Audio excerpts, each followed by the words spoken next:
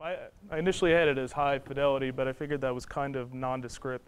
So high Reynolds number, uh, computational aero optics explains a little bit more of what we're doing and why it's difficult to do. And as was said, my name's Ed Mathews. Uh, my collaborators on this project uh, was is Kan Wang, who's a postdoc in our group, and my advisors Meng Wang and Eric Jumper. And I'd like to thank the the uh, the NSF and Blue Waters. This support this uh, project was totally supported through the uh, Blue Waters Graduate Fellowship, um, and the the crew at NCSA have been great. Um, my point of contact, Tom Corsese, has been there to answer all of my random questions about trying to get stuff running on the machine. So uh, the first question is, what is aero optics? Uh, in short, aero optics is the distortion of an optical beam uh, that's caused by turbulent compressible flow. So you can see over here, this is, uh, what is that? Uh, you have this initial beam that has a distribution, intensity distribution. And before we shoot it through some, some turbulence, it's initially collimated and the wavefront is flat. And if it projects through an aero optical distortion, which is caused by a change in the index of refraction, uh, which is related to the density of the turbulent field, you get a really big aberration, a drop in the intensity uh, and the, the coherence of the beam in the far field. So you can just compare these and look at it. The farther we go out, uh, the worse it gets, and while the non-aberrated beam generally looks the same. Uh, and this is obviously a major impediment to things uh, where you'd have an airborne optical system. If you're going to shoot a laser between two planes, a ground to a plane, uh, to increase the, the, the, communication speed. And this also has some implications in imaging, targeting, and directed energy systems. So our goal is to use CFD, uh, which everybody should be semi-familiar now with after the past two talks, to, uh, to improve our understanding and our predictive capability for aero-optic systems at realistic Reynolds number and Mach numbers. So I think everybody's kind of had it hammered in. Uh, the importance of Reynolds numbers and fluid flows, uh, it just gives a, uh, the how small the scales and turbulence gets when it increases compared to the largest scales. And then the Mach number, everybody I think is pretty familiar with, where it's just the speed that the air is going or the fluid is going compared to the speed of sound. Uh, in particular, we are doing this to be able, there's a large amount of data on, on aero optics from uh, the Aero Optical Laboratory at Notre Dame, where there's two planes that fly uh, around Michigan uh, one is a source plane that shoots a laser at the other one, which has a, a turret mounted to it, which is like a, a, hemisphere with a cylinder on top of it. And then they measure the aero optical distortion uh, of that laser. And so we can get an idea of where, in certain angles, you're looking at it. This is a kind of complicated flow. And then uh, it's kind of moving towards how can we work this out? How can we develop aero optic mitigation techniques? Uh, and so what I'm going to present, uh, I've been working on the past year is the largest aero optics calculations to date. And I'm going to talk a little bit more about wall modeled LES, but it's so far the highest Reynolds number wall modeled LES. Uh, and I've used over 200 million control volumes. So computational aero optics is, uh, is, has challenges because you have to, to capture all the optically relevant flow scales. Luckily, though, uh, Ali Mani et al. in a, a, JCP paper showed that this could be fulfilled by adequately resolved uh, large eddy simulation. So large eddy simulation solves the Navier-Stokes continuity and energy equations, but it's spatially filtered. So the smallest scales of turbulence aren't resolved, and everything below that on the computational mesh is modeled. Uh, this also, you know, the keeping on with the high Reynolds number, uh, it gets pretty cost prohibitive with high fidelity CFD, especially in wall bounded flows. So to do DNS on a wall-bounded flow, uh, it scales almost more than two and a half to the power of the length of the plate on the Reynolds number. The, for a wall-resolved LES, uh, which I explained earlier is just a spatial filtered uh, Navier-Stokes, it scales a little bit less than the Reynolds number based on the length of the plate squared. But if we were only going to resolve the outer scales of the boundary layer, it actually scales linearly with the Reynolds number. So to be able to, to make problems that are of engineering importance feasible, uh, we use a wall model. So what a wall model does is it solves a simplified version of Navier-Stokes equations called the thin boundary layer equations on an embedded mesh. So in the LES mesh in the outer part, we don't have the resolution to get the inner scales of the wall, but we employ a separate mesh that does have the resolution, and we use a simplified version of the Navier-Stokes equations to approximate that as a boundary condition. So the LES mesh serves as, uh, it provides outer boundary conditions to this mesh, and then the uh, simplified thin boundary layer equations is solved in there and gets returned as uh, boundary conditions. So in only resolving the outer scales of the boundary layer, the LES at large Reynolds numbers becomes feasible, uh, where before we could never do it in several years. So the flow solver that I'm using is an unstructured mesh solver. Uh, it's compressible LES code called CharLES that was developed at Cascade Technologies, which is a, a spin-off of some work that was done at Stanford in the Center for Turbulence Research. It uses a, a low dissipative finite volume scheme for the spatial discretization. Uh, and that combines a central flux uh, with an upwind flux. So, so, upwind flux will provide some computational stability in regions with really complex geometries that normally would blow up with a central scheme. Uh, but this upwind is only added in areas where the mesh is skewed. So that kind of you know, adds to the design phase where in CFD, generating a mesh is usually pretty difficult and a long part of your uh, CFD cycle.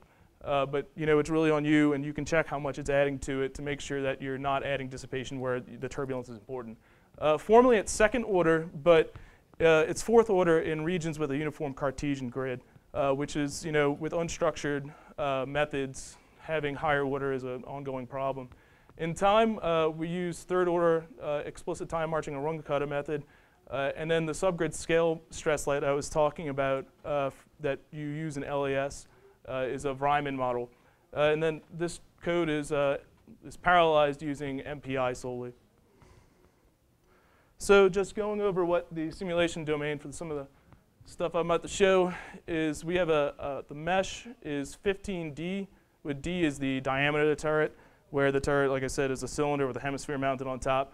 Uh, and then this kind of, this profile here is the inlet condition, which we use a mean turbulent boundary layer profile uh, that's one tenth of the diameter of the turret, and this is based off of some wind tunnel experiments that were done at Notre Dame. And the assumption that we're making here is that the inlet boundary layer profile is really thin compared to the area of interest with that are, that's optically uh, active. So it doesn't have a huge effect on the optics if we use a mean profile instead of uh, supplying an unsteady uh, turbulent profile from a, another simulation. Um, so the wall model that I described before is applied on these walls and the, uh, the turret surface. Uh, here, this kind of shaded region is what we call a sponge region. It's a numerical sponge that absorbs acoustic and uh, vortical structures so they don't reflect back inwards and contaminate the solution. Um, this is also because it to be able to damp these out, it takes a running average and then adds a source term to the right-hand side of the equations to, to eliminate them. We also use this as the outflow condition uh, for the top and the outflow right here. Uh, in the span-wise, it's the flow is periodic, um, and the domain it's 10 wide in the span-wise direction, and then five, uh, five diameters tall. And it, like I said earlier, we use uh, 200.5 million control volumes. So the optics solver, uh, this is what I put in. Um, to compute the optics, uh, we have to use a separate beam grid for every single viewing angle that we want to look at because we're using geometric optics uh, to project this, this beam outward. So this is the OPL. Um, this is a, uh, the optical path length. Because the, uh, because the optic aberrations is almost completely in the phase component, uh, it can be described by, by integrating out here and using geometric optics.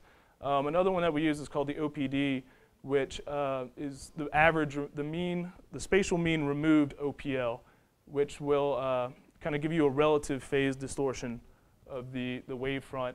So each grid extends about 2D out from the turret surface, so it encompasses the entire uh, optically uh, active region.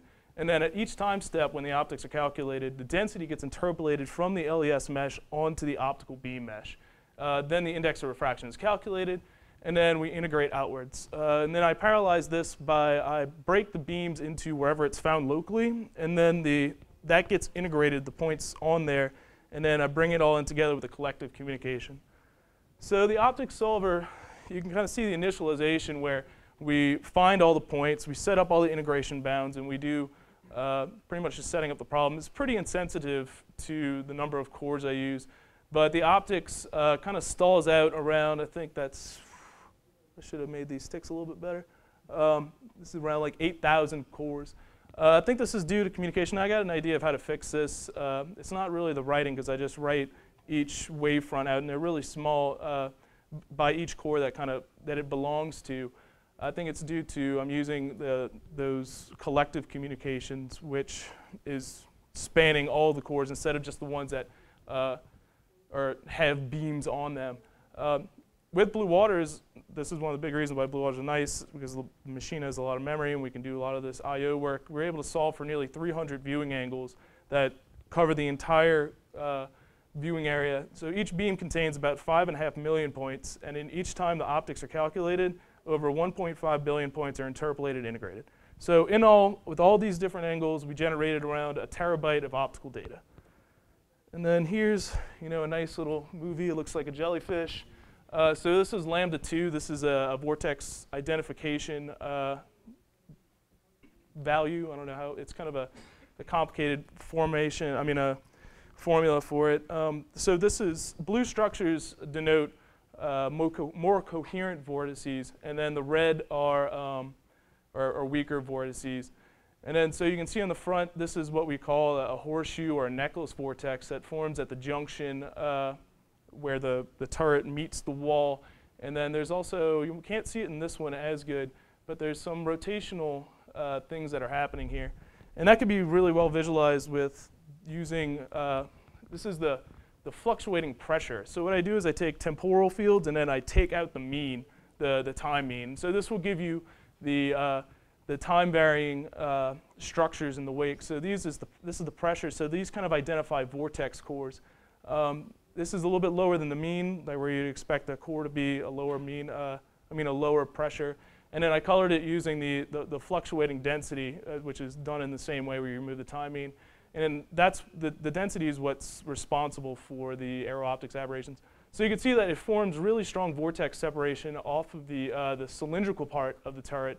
And then these kind of start wrapping up over the top. They kind of they bend in uh, and it's pretty cool every once in a while you can see that you get this core of a vortex that just sits in here. Uh, it's, it's, it's its own entity. And then these things just keep on convecting. They go down. And there's even, there's some kind of coherence in between when they shed. You know, so there's a lot of stuff going on in here that is dying to be studied. Uh, so this is the streamlines of the time average velocity. And then here is a, a diagram from some experimental work uh, that, you know, this is what they've, they've seen in the experiments. And then we see something similar. You know, flow that comes in here, a lot of it gets wrapped, if it's close to the base, it gets wrapped up into this necklace vortex. And I'm sorry, this is colored by the, uh, the, uh, the velocity magnitude. And the stuff that goes over the top gets pulled into this recirculation zone where you can see the velocity is low. And then it eventually kind of spirals out into these, uh, these horn vortices, as they, they're called. And just comparing to some experimental results, uh, so this is a wind tunnel test, the little boxes, and then this is our CP curve along the center line. And uh, and then we have pretty good agreement, uh, you know, where you get a peak here around like 85, and then the separation is right about uh, 110, 115. So this is the, the optics uh, important uh, parameter. So this is the, the fluctuating density, where red here is a higher region of density, and then the, the blue is lower. And you can see a lot of the similar structures that you see in the pressure because the, the pressure is the, the driver, at least in the separated shear layer to, uh, to drive these aero-optical distortions. Uh, if you have a wall, usually they're kind of driven by temperature uh, and other structures in the outer boundary layer. Um, but so what this does, um, if it will go to the next slide. So this is kind of the same thing but a movie of what happens to the optics. You know, this is the initial beam distribution. Then it gets projected through this, where this is looking further back into the wake. And then you can see what this does. This is a, near field intensity pattern got from uh, doing Fresnel diffraction uh, up to 16,000 D. Uh, and you can see the bands in here, just kind of like you see over here. And then you can see this, and then the farther back you look, the worse it gets. By the time here, this is what initially looked like this is almost totally non-coherent. Uh, this is a measure of the optical distortion uh, that we look at a lot of times because you can kind of, uh, there's uh, there's an equation and a, that, was, that you can use to kind of predict the far field intensity based on the OPD RMS, which is the, the, the relevant, I mean, the, the relative phase distortion of, of a wavefront, the R, spatial RMS, and is normalized. Uh, so you can see that we, we, we capture a similar trend. We're a little bit underneath um, you know, the experimental, experimental measurements, but there's kind of large error bars there. Um, and then I haven't had a time to do a, another simulation yet uh, with a coarser mesh to kind of look at how our results compare uh, with its uh, the mesh dependence. But this is from a, another simulation I did that was at the fifth of the, the cell count and a fifth of the Reynolds number. And then you can see we actually have pretty good uh, agreement in the optical distortion. And then we kind of know that there's some insensitivity to Reynolds number as you get larger because it, it depends on the coherence of the vortices and the density RMS. Uh, and then so if your largest scales are set by your largest you know, entity in your flow, namely the diameter of the turret, you shouldn't have that much difference as long as the flow is past a critical number. Um, and so the future work, and I think this is where Blue Waters is really going to shine, is uh, processing the over 40 terabytes of flow field data that I generated uh, in optical data and trying to use, uh, beyond just classical statistic approaches, using some data mining methods like uh, POD, proper orthogonal decomposition, it's usually called in, in, fluid dynamics, but this is really just principal component analysis and SVD, um, and then dynamic mode decomposition. And then a lot of these, uh, you know, these are kind of important in studies of uh, experimentalists use these methods a lot to kind of look at turbulence. And nothing really works beyond MATLAB for them. You know, the SVD on your laptop is pretty much the farthest that experimentalists or even some CFD people go when it comes to doing these methods. So having something that people could use that's geared towards fluid dynamics this would be nice. This is kind of like a little diagram of what POD does. Uh, you know, you have this wavefront that's spatially and temporally evolving, uh, and then it breaks it into some spatial modes, this uh, spectral that depends on how uh, much variance each one of these modes contain, and then you can have these temporal parts of it. So thank you. That's it.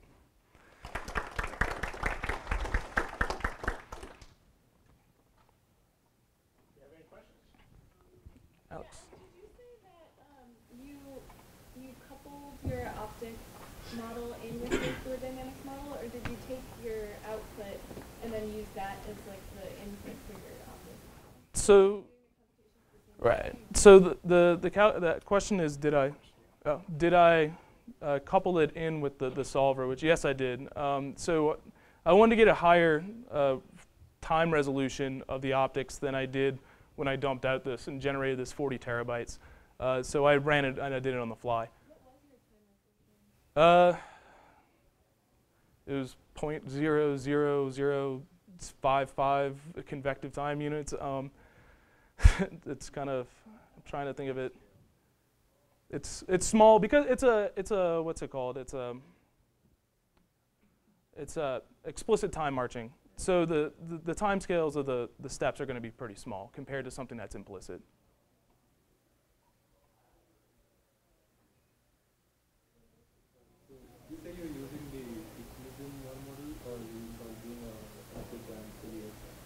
Uh, so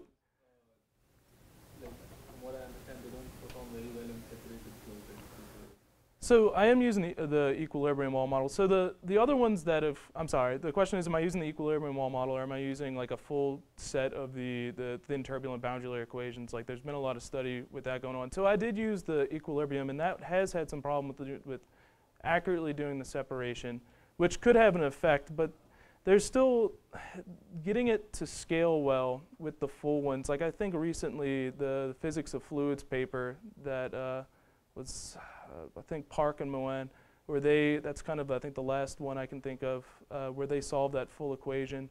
Um, I think it's still kind of, it's really expensive compared to doing just the ODE, the ODE wall model.